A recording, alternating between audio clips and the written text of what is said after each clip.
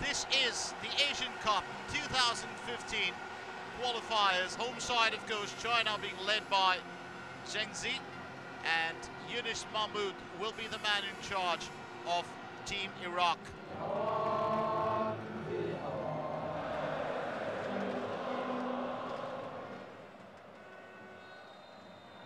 And it's into the first half here at the Changsha Helong Sports Center.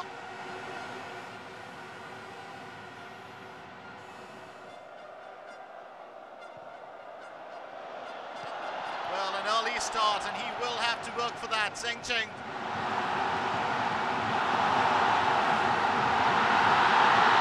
Oh, that's the a close call, and what a save. This time it's off the wall.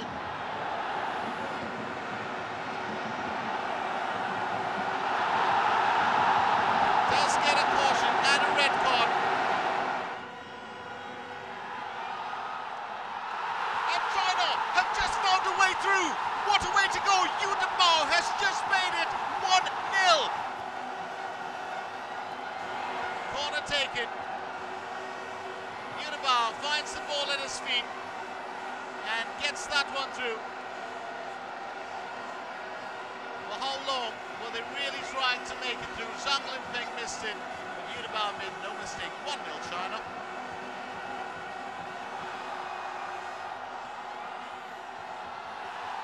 And Benjamin Williams has called it time in the game. Final score in this game, People's Republic of China 1, Iraq nil.